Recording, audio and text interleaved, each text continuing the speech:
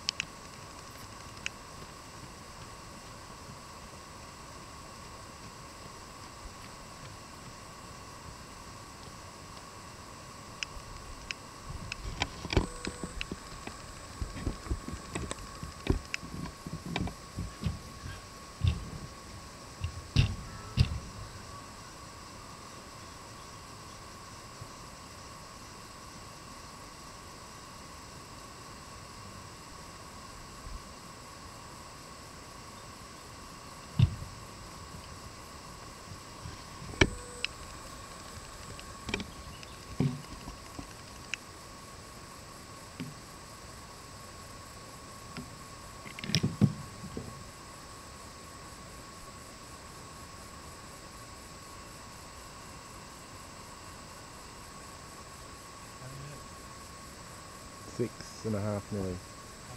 Six and a half nearly.